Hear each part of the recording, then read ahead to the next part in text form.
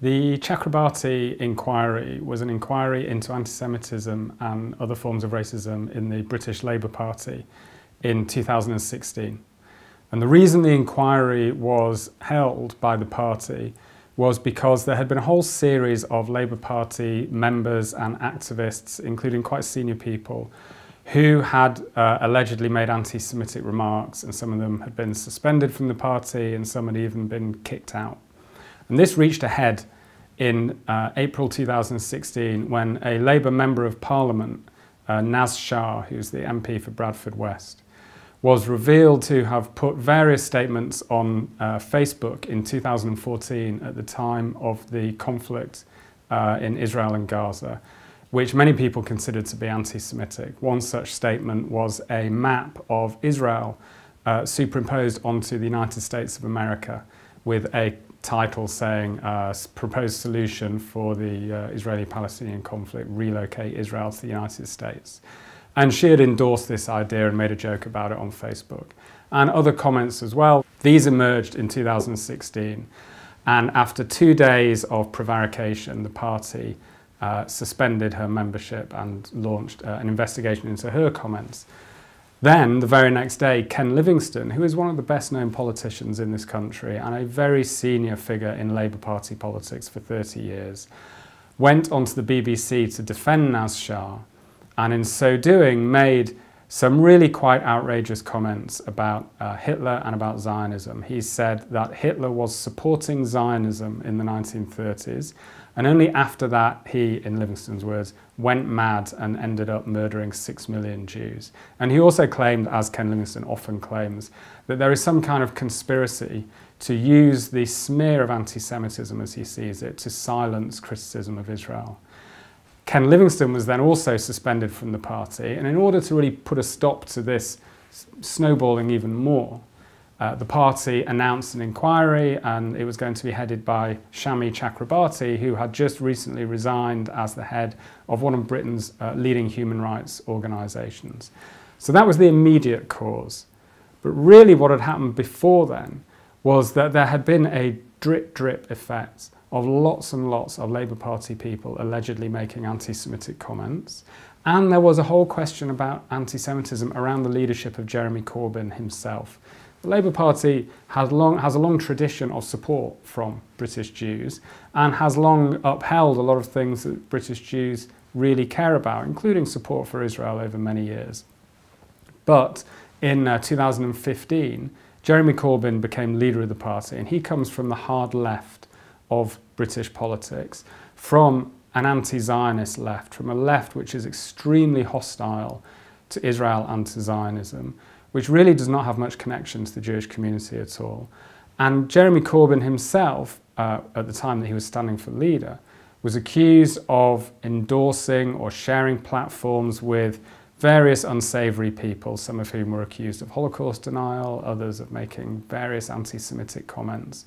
Corbyn himself was on video in 2010 making a speech in which he called Hamas and Hezbollah his friends, and he described Hamas as a movement for social justice and political justice, which coming from someone on the left is language that really means a, an ideological connection.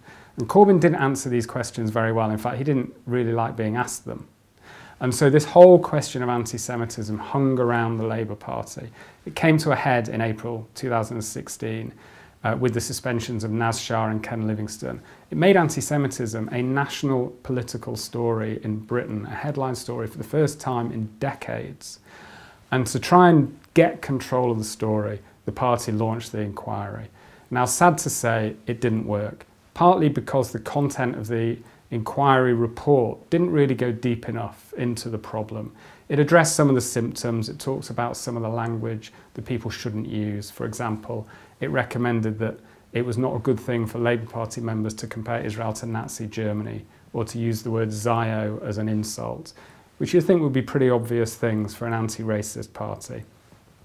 But it didn't really go into the question of why these things have become prevalent in parts of the left and whether it's connected to a really obsessive emotional hatred of Israel that exists in some parts of the left. The issue of anti-Semitism, anti-Semitism never went away. it was there were as a, there was a kind of continuous bubbling up of stories emerging, some of them old, some of them new, some of them about the structures of the Labour Party failing to deal properly with, with anti Semitism, some of them about things that Corbyn had said and done. And it bubbled up again and it kind of increased in, in, in uh, certainly the Jewish community became more worried because Corbyn became more powerful. There was a, a video emerged from Jeremy Corbyn when uh, Corbyn had been recorded really denouncing a couple of people who he called Zionists. And he said the Zionists don't understand the, the irony that the Palestinian ambassador was employing. And he said they've lived in England all their life, but they still don't seem to understand English irony. And again, it becomes then a matter of interpretation. And Corbyn said this was just about language, but many, many people saw in that statement a kind of othering of British Jews, of saying that British Jews live here, but they're not really of us. And uh, that was quite a big event. The Jewish community, having had a kind of remarkable degree of unity and consensus, uh, began to, to say that, that it's important for them that Labour adopts the IHRA definition of anti Semitism, which is a framework, a set of guidelines to help Labour decide, understand what is anti Semitic and what isn't. And of course, the anti Zionist activists hate IHRA because IHRA is explicit that certain kinds of hostility to Israel should be understood to be possibly or potentially anti Semitic. The formal adoption of IHRA, I think, calmed everything down again a little bit in the, in the way of Chakrabarti. And in the time after that, in, in the autumn, the fall of uh, 2018, the Brexit issue came to the fore again and became, um, you know, a, a kind of really compelling uh, discussion. Uh, it's now the very beginning of January 2019, and we have no idea what's going to happen. What frightens me in terms of anti Semitism is this that the events in the Labour Party have been creating, educating a cadre of activists to believe that the Zionists are their key enemy. The Zionists or the Jewish community stand between us and socialism, between us and our best chance in a generation to have uh, JC, Jeremy Corbyn in power. And on the right, the discourse also can be seen as a kind of conspiracy theory. We're being run by Europe, by the EU, by the foreigners. Uh, the elite, the cosmopolitan elite, the citizens of nowhere, are bringing in immigrants to undercut labour.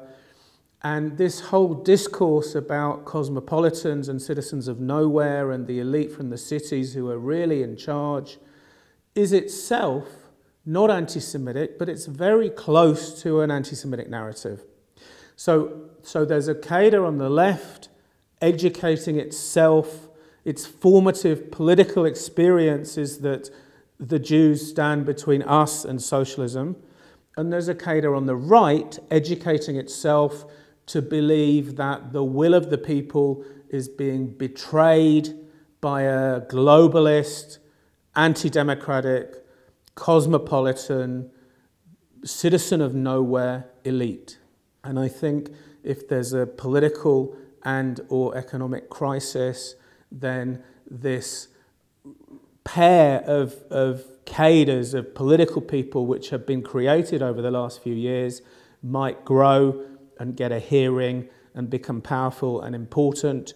And I think either of them could develop into much more explicitly anti Semitic movements. That's the danger I see.